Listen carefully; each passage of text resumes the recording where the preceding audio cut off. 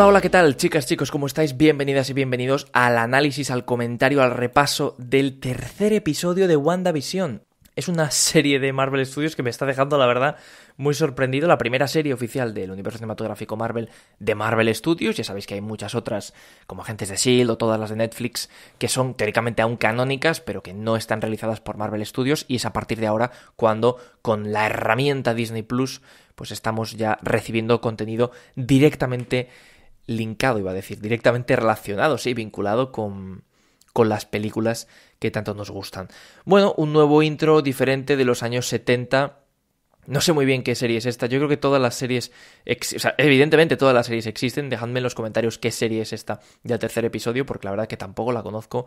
Pero bueno, claramente es algo de, familia. No sé muy bien cuál, pero de nuevo es una, es una sitcom familiar, en este caso de los años 70. Y de nuevo vemos que, que siguen siendo los personajes me encanta el peinado que tiene Visión, la verdad. Aparte de que me recuerda un poco al mío, eh, Paul Bettany se conserva bien el tío. Eh.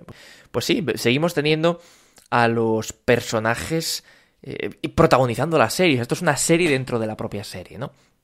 Bueno, tenía que incluir a este, a este gran hombre simplemente por su aspecto. De hecho, hay un momento muy divertido, ¿no? Cuando le pregunta a su esposa, este vestido me hace, me hace gorda, ¿no? Y de repente la, la luz se apaga y él dice, ah, gracias a Dios, ¿no? Es una tontería, pero me hace gracia este personaje y desde luego que me recuerda al bueno de David Schwimmer. Aunque no es él, pero insisto que tiene un aire. Bueno, Wanda está embarazada. Y, sí, efectivamente, aquí tenemos una cuna y, vemos que va a haber un, un próximo parto, teóricamente, ¿no? aunque aún deberían quedar nueve meses, pero ya sabéis cómo es esta serie y va a suceder en el mismo episodio. Cosa que también pues, se va a discutir, como ya, como ya voy a comentar. Bueno, esta escena de Herb, otro de los vecinos que también se le ha cambiado el aspecto y todo, todos los vecinos van avanzando, los coches, las decoraciones, la propia serie, la estética, todo avanza con respecto a los personajes protagonistas y a la época, lo cual no tiene sentido, es decir, ¿cómo es posible ¿no? que, que esto ocurra? Pues ya hemos visto que Wanda introducía el color en la serie, por lo tanto creo que es evidente que tiene bastante, bastante, bastante que ver con ello. Aquí Herb parece que está como una especie de error, ¿no? O sea, está como como si su personaje se saliese del guion y empezase a cortar un muro no sé, hay alguien que está controlando a Herb y que de repente se ha olvidado de él, o esto es una especie de bug, ¿no? Como si en un videojuego de repente una, un personaje deja de funcionar y hay un error de, programación, ¿no? Un pequeño fallito, pues parece ser que tiene un fallo Herb. Y bueno, pues Wanda aquí la vemos ya cada vez más eh, embarazada, lo cual es totalmente sorprendente debido a que, como he dicho, pues en el anterior episodio no lo estaba bueno, también es sorprendente, insisto, que de repente hayan pasado 10 años o más y que, bueno, pues sigamos con el mismo aspecto de todos los personajes, etcétera. Bueno, ella parece ser una persona tranquila, una persona sin ningún tipo de problema, está en su casa, no tiene ningún trabajo, lo cual es también interesante, simplemente se dedica a estar en casa. Y bueno, pues vemos que todo ha cambiado, que en Westview todo es ya eh, setentero y claramente la época ha variado. Como decía, una de las cosas más raras del episodio es que Visión por primera vez muestra algo de duda. Ya la habíamos visto pues cuando la rama golpea en el, en el segundo episodio o cuando aparece el apicultor. Ya, ya, habíamos visto que Visión se quedaba un poco sorprendido. También Wanda, pero Wanda lo solucionaba y Visión simplemente seguía sin más, ¿no? Pero en esta ocasión es la primera vez que Visión la confronta y le dice, creo que hay algo raro. I think something's wrong here. Y ella simplemente rebobina la situación y no volvemos a tener ningún tipo de duda de visión en ese momento. Yo creo que es evidente y cada vez más que Wanda tiene todo el tipo de poder posible para controlar a los personajes. Pero no solo eso, sino que además la serie es suya. Eso parece. Parece que ella es la guionista de la serie y que ella si hay algo que no le gusta, lo corrige. Bueno, el parto de, de, Wanda Maximoff, aquí vemos a Elizabeth Olsen, que por cierto, no lo he dicho, como ya sabéis, esto es un repaso de la trama más que una crítica de la serie, ya la haré, insisto, cuando llegue el verano y, y repase todo Marvel en orden cronológico. Pero la verdad es que Elizabeth Olsen está haciendo una actuación impresionante, al igual que Paul Bettany. Son un par de actores tremendos con un derroche de talento en esta serie increíble, porque además tienen que hacer personajes que van cambiando no solo ya de época, sino de estilo, ¿no? Estamos de comedia a momentos serios, veníamos de películas de acción. La verdad es que estos actores están demostrando, bueno, que son capaces de cualquier registro. Yo creo que esta serie de verdad les puede poner como algunas de las mejores estrellas de cine del mundo, porque es que, si no lo eran ya, porque es que demuestran una capacidad de adaptación tremenda a cualquier personaje, y eso que son el mismo personaje continuamente, pero como digo, pues, eh, pues no tiene nada que ver, ¿no? la Wanda de, de la era de Ultron, con la de los primeros capítulos de esta serie, con la de, supongo, los últimos episodios, no lo sé, ni, bueno, y de Visión que podemos decir también, ¿no? Interesante que, de nuevo, Visión se encuentra con Herb, que aquí le vemos muy, no sé, sin más, y con Agnes.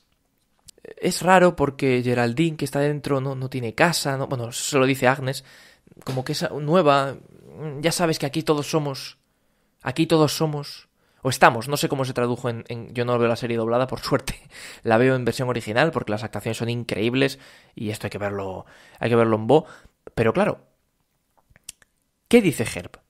Todos somos, todos estamos, ¿qué pasa? ¿Que están secuestrados? ¿Todos somos actores? Por ejemplo, podría ser, todos somos actores y en cambio ella no tiene ningún tipo de de, no sé, de, no tiene casa, lo cual es muy raro, no tiene marido, no tiene, no tiene familia, es, como una infiltrada, ¿no?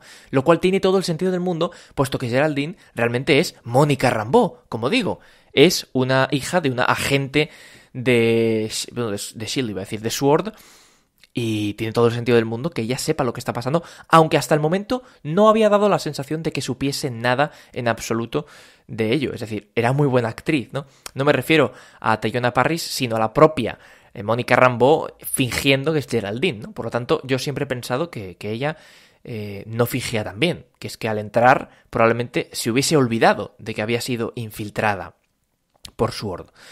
Bueno, mm, aquí tenemos, eh, como digo, esta escena en la que ella, Agnes y, Herb, bueno, mm, de hecho Agnes para a Herb y, bueno, impide que, que Visión se entere de lo que son, insisto, ¿y qué pasa si son muertos? Todos estamos muertos y ella no, no lo sé.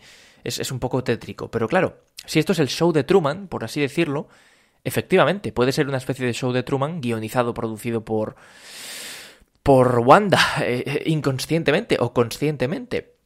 Y con algunos vecinos como Agnes y como Herb, especialmente Agnes, como los coescritores o coproductores, otros simplemente como los actores, y ella es efectivamente una, un topo, ¿no? Por lo tanto, tiene todo el sentido del mundo. Este es el mejor momento del capítulo, claramente. Resulta que ella, Mónica, le confiesa a... ¿Se acuerda de algo, no? Le, dice a Wanda que tenía un hermano. Oye, tú tenías un hermano, Pietro. He was killed by Ultron, wasn't he? Y de repente hay un silencio muy incómodo. ¿Por qué has mencionado a Pietro, no? Geraldine sigue hablando de otras cosas, pero cuando Visión entra dentro de la casa, Geraldine ya no está. Ella ya ha desaparecido. Por cierto, eh, vemos aquí también otro anuncio de, bueno, el jabón de Hydra. Creo que no hace falta volver a decir que esto tiene todo el sentido del mundo, que sea controlado por Wanda y que los anuncios pues sean, pues eso, cosas que la han marcado en la vida, ¿no? Bueno, mm, efectivamente, resulta que Wanda ha sido, ha sido mamá. Enhorabuena, Wanda. Pero, eh, aparte de eso, Geraldine ha sido expulsada de una cúpula. Por lo tanto, esto nos confirma que sí, Wanda tiene mucho, no sé si todo, pero mucho poder, probablemente todo el poder, o casi todo, en esa cúpula que ha creado y que dentro de esa cúpula está eh, su mundo, su serie, y que efectivamente puede expulsar a alguien a su voluntad. De hecho, se lo dice, tú eres una infiltrada, ¿no? Y la expulsa. Al salir, ella no tiene muy claro lo que está pasando. La ve un poco confundida y efectivamente vemos un helicóptero, puede tener perfectamente que ver con el helicóptero que se encontró Wanda y parece ser que las instalaciones de Sword están alrededor, es decir, que esto ya está monitorizado desde hace tiempo y por ello lo están viendo, pero claro, probablemente no sepan cómo actuar. En fin, este ha sido mi comentario del capítulo 3 de WandaVision, probablemente mi favorito hasta el momento, la cosa va avanzando, ya tenemos color, ya tenemos todo tipo de, de cuestiones un poquito más Marvel, ¿no? Y menos tan alternativas, que es lo que había al principio, lo cual yo insisto agradecí un montón. Pero lo más interesante de todo seguramente sea lo que venga a continuación. Por lo tanto, tengo muchas ganas de ver el episodio 4 y poder comentar un poquito más, ya que no tengo ni la menor idea de por dónde va a ir esto. Más o menos me puedo imaginar que van a intentar eh, o que ya han intentado, de hecho, con la propia Mónica, meterse dentro de, la, de la cúpula, ¿no? Que parece que ha creado Wanda, supongo, no lo sé. Pero, pero no tengo muy claro exactamente cómo va a continuar la serie. Sabemos que en teoría el siguiente episodio sería sobre los 80, por lo tanto, bueno, tengo ganas de ver lo que ocurre a continuación. Y creo que ahora que estamos desde fuera podemos ver también eh, pues eso, cómo va avanzando un poco la, eh, el análisis de, de de la situación, lo cual nos puede ayudar mucho a los espectadores a entender qué está pasando. En fin, lo dicho, muchísimas gracias por ver el vídeo, como siempre, podéis darle like o dejar algún comentario si os gusta, y tengo muchas ganas de comentar el próximo episodio, el cuarto capítulo de esta interesantísima serie de Marvel Studios. Como siempre, muchísimas gracias por verlo y nos vemos en la próxima. Chao, chao.